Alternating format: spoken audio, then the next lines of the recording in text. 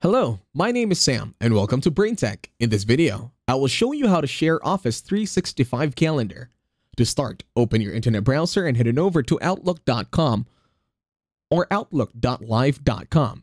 Once you are now here, click on the three dots or the many dots on the upper left and then click on Calendar. Then in here, you will need to sign in to your Microsoft account.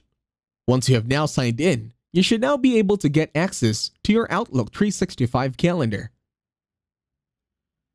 Then in here, click on the button that says Share.